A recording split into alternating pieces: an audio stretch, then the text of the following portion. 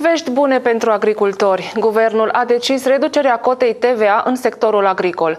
TVA-ul scade de la 20 la 9% pentru îngrășăminte, semințe, pesticide și pentru lucrările agricole.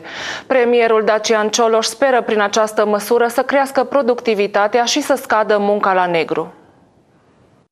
Ministrul Finanțelor Publice, Anca Dragu, a anunțat că guvernul a decis reducerea TVA de la 20 la 9% în sectorul agricol, după cum a declarat și premierul Dacian Cioloș la începutul ședinței de guvern.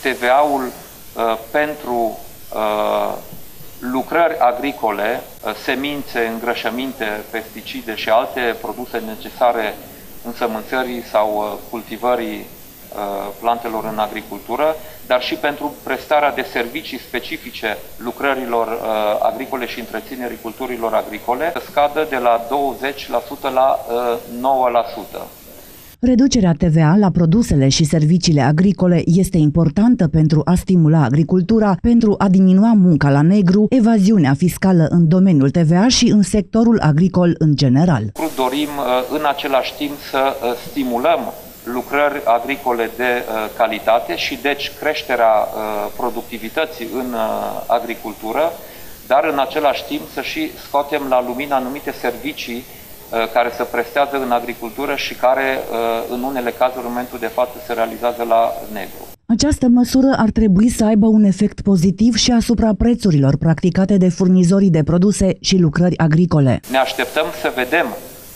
această reducere a uh, TVA-ului reflectată și în prețul pe care uh, furnizorii de semințe, de îngrășăminte, de produse de întreținere a culturilor agricole Uh, le vor propune uh, agricultorilor. Pentru a identifica bunurile și serviciile asupra cărora se va aplica cota redusă de TVA de 9%, Ministrul Finanțelor Anca Dragu și Ministrul Agriculturii Achim Irimescu vor elabora un ordin comun. Totodată cele două ministere vor monitoriza scăderea prețurilor în urma reducerii TVA și vor face publică diferența.